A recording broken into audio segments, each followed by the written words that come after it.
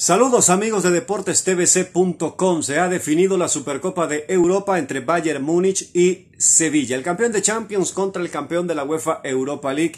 2 a 1 ha ganado el Bayern Múnich en partido jugado en el estadio Ferenc Puskas en Budapest, Hungría. Partido que también ha servido como experimento para que vaya regresando afición a los estadios en menor número, pero ya es ir avanzando, acercándonos a la normalidad. Lo gana el Bayern a un Sevilla que nos mostró hoy cómo se le puede jugar al conjunto alemán. El equipo dirigido por Julian Lopetegui lo presionó en la mitad de la cancha, incluso presionó la salida por momentos y se puso por delante en el marcador, algo que no habíamos visto en los últimos meses. A un Bayern perdiendo, que tuviera que remar contra la corriente, pero supo manejarlo el equipo de Hansi Flick.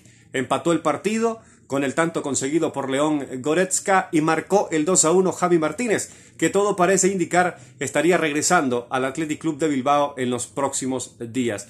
¿Cómo se le puede jugar al Bayern Múnich? El Sevilla lo mostró hoy, pero al Bayern Múnich también hay que liquidarlo. ¿Cómo ganarle al Bayern Múnich a este equipo?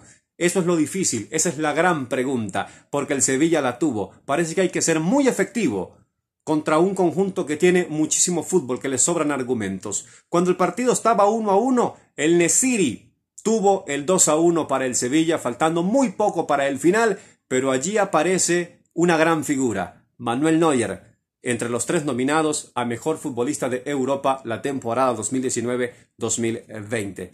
Incontenible el Bayern Múnich, mostrando que es hoy por hoy el mejor equipo de Europa.